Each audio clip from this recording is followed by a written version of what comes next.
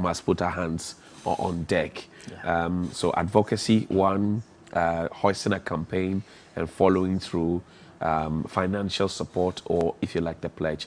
Quickly run us through that briefly, and then we'll, we'll end okay. if there are any contacts you can share. So, so how to how to get on board is quite simple. Visit the yensomubi.org, y e n s o m b i dot org, okay. yensomubi.org. We are on Facebook and mm. then on Twitter.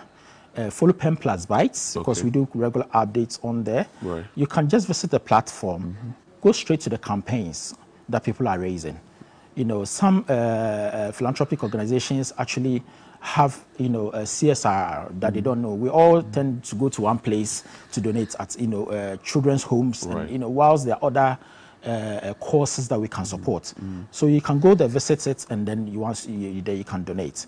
You can also actually push mm. uh, campaigns also yourself. Okay. Once you satisfy the eligibility uh, criteria, okay. you can you know also do uh, promotion. Mm. these so are on the website. These are all on the website. So the requirements are all there. Okay. Yeah. But follow Pen Plus Bytes, you know, on both Facebook and then on Twitter and then also on Instagram. Instagram. You get to see all the campaigns that we are raising. The one that is dear to my heart, obviously, is the NHIS.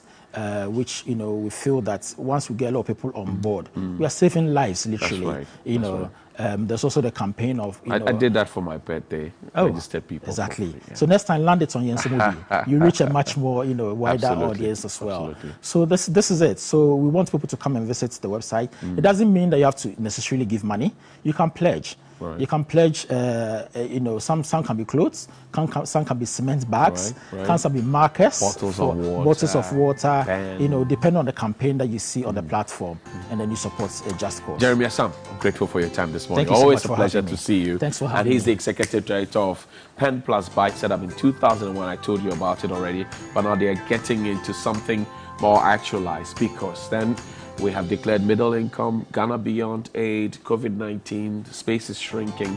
What can we do? Homegrown solutions to our problems. And they have the idea and they have brought this solution to us to bring respite and a smile on faces. Ketsi Star Ghana Foundation as well. We'll see you after the break, but good morning to all our friends at Nadum Auto Services at Dansoman.